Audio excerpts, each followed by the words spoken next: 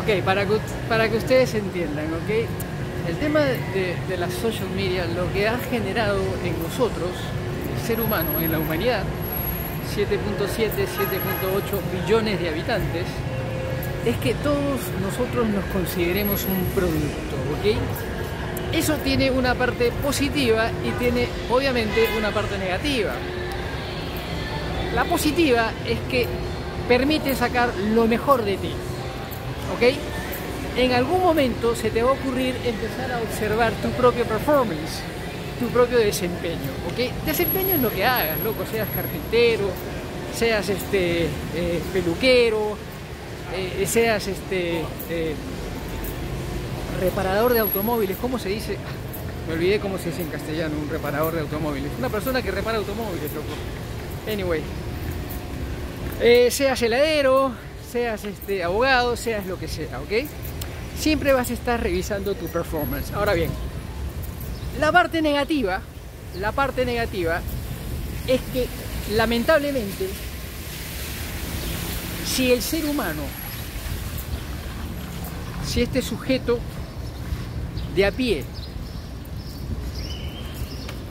que vive o que sobrevive en la humanidad son conceptos diferentes, ¿ok?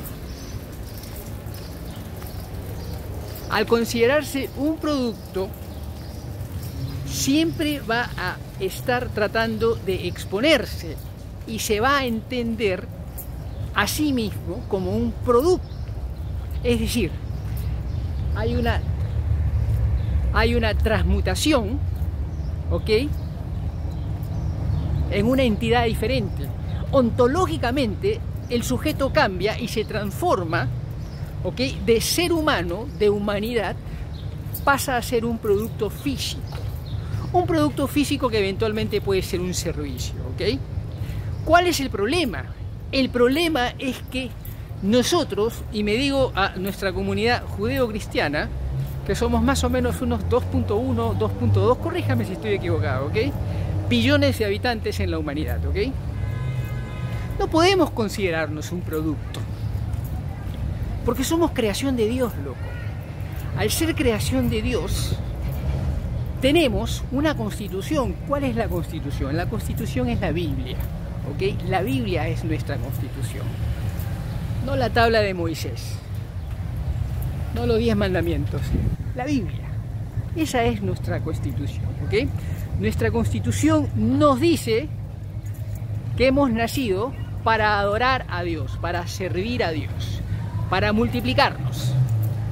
Revisen el Génesis. ¿Ok? Entonces, si nosotros nos consideramos un producto, sucede algo muy complicado. Esta dicotomía entre ser a la vez un producto positivo y uno negativo encuentra encuentra una suerte de reyerta entre ambos conceptos. ¿Por qué? Porque la parte negativa de ser considerados un producto nos desvincula de toda nuestra humanidad. ¿Ok?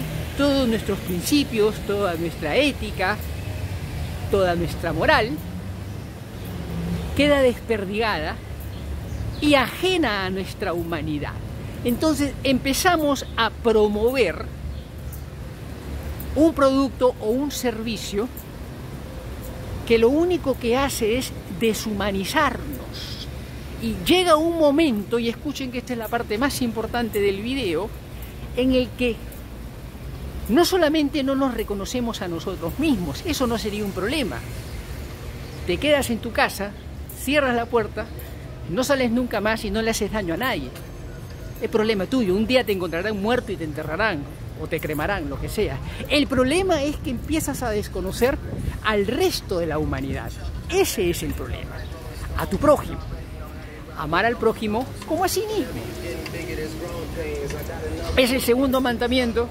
Es el segundo mandamiento que describe Jesús, Jesús, ¿ok?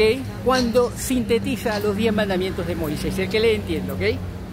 Entonces, si desconocemos, si desconocemos al otro, nos hemos deshumanizado completamente Y entonces, y entonces, el ser humano se encuentra consigo mismo, con su unicidad. La unicidad que le dice que es un egoísta de mierda, porque eso es lo que realmente somos. Somos unos egoístas de mierda. Y entonces las social media, las plataformas sociales, no han hecho otra cosa que resaltar nuestra verdadera humanidad, quiénes somos realmente.